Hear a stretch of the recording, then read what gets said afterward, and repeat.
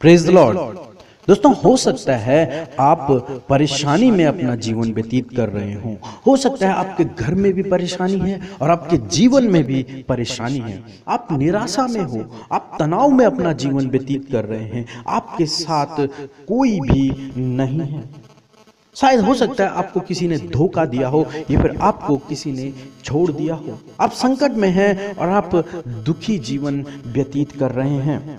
मेरे प्रिय दोस्तों, मैं आपसे कहना चाहता हूँ, प्रभु यीशु मसीह आपसे प्रेम करते हैं और वो आपके साथ में हैं। वो आपको हर एक परेशानी से निकालने के लिए आपके साथ में है। दोस्तों मती जी सुसमाचार उसके चौदहवें अध्याय 22 से 33 में इस प्रकार से लिखा कि जब पत्रस पानी पर चल रहा था तो वो जब डूबने लगा तो चिल्लाया, हे प्रभु, मुझे बचा। और प्रभु यीशु मसीह ने तुरंत हाथ बढ़ाकर उसे थाम लिया और उसे थाम लिया और उसे डूबने से बचा दिया। उसकी डगमगाती हुई नाव को प्रभु यीशु मसीह ने स्थिर कर लिया, जब वो चिल्लाया। जब पत्र संकट में पड़ा तो वो ज़ोर से चिल्लाया, हे प्रभु, मुझे बचा। और प्रभु यीशु मसीह ने हाथ बढ़ाकर उसे थाम लिया और उसे डूबने से बचा लिया।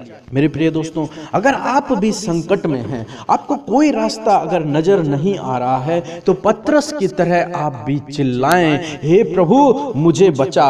हे प्रभु, इस संकट से मुझे छुड़ा। हे प्रभु, इस परेशानी से मुझे बाहर निकाल।